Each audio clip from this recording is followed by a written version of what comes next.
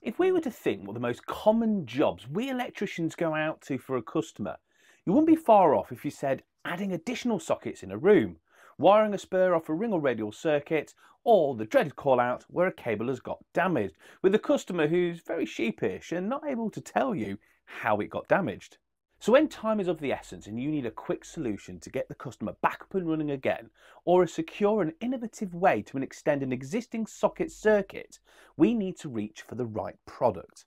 Now you may remember a video from time gone by where Joe and Gary raced each other in connecting a junction box, with Joe being victorious with the Quickwire lighting junction box, and both were amazed on the speed and security of those terminations.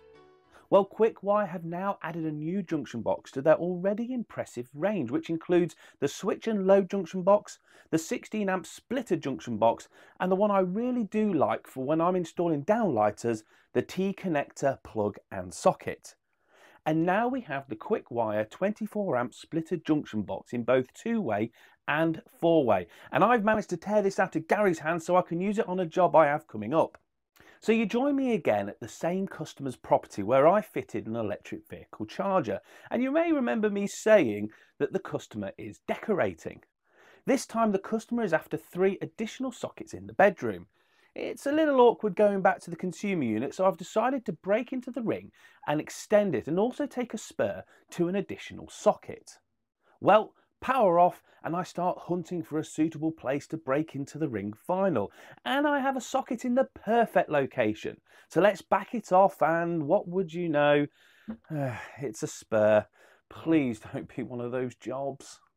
Heading next door, I find a great place I can break into the ring and fit the Quickwire 24 amp junction box. So as with any house bash, we need the cutter, dust extraction and every door in the house closed. All three sockets were chopped in straightforward enough and finished off with the chisel and quite honestly the runs were lovely. The boards they came up a dream and everything was going really well. Well, apart from creating a fireplace on this chase, now it was time to throw in the cables to each socket point and get them set in and ready.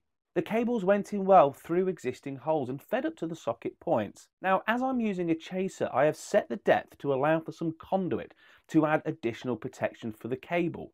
Now, normally I would use oval for this, but I had some 20 mil on the van and it does the job. With all the sockets wired and all the making good finished, it was time to break into the ring and put the Quickwire two-way splitter to its paces. So I'm using the Quickwire cable stripper, which has a guide on here to strip the cable to 22 mil. And once the outer insulation is off, you then line up these end clamps with the inner insulation to strip back to the conductors. Now, it's really important that you do not spread the wires because, well, you don't need to. It is stripped to the perfect length and the cable will literally just click into place. And then it's done. As quick as that. So I connected the other leg of the ring, which was just as easy, and I also fixed the one back to the joist as well. The clips have notches in them, which fit into the Quickwire junction box perfectly, making it really secure. It's a really small and slim unit, so even in the tightest of spaces, this junction box is going to fit.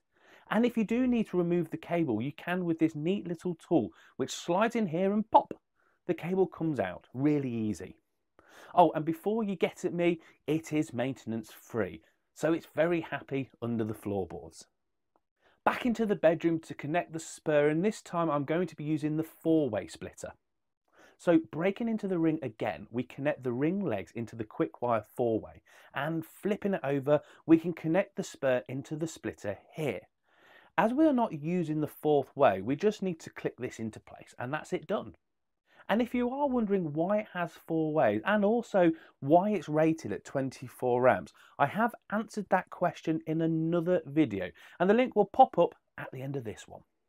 Well, this job has been a dream so far and it's a great moment where we start putting all the boards back and, oh bother, look at this. I've noticed I have a friction burnt cable which must have happened when I was pulling it through and it's too tight for me to repair by traditional methods. So Right, let's rip it out and replace the leg.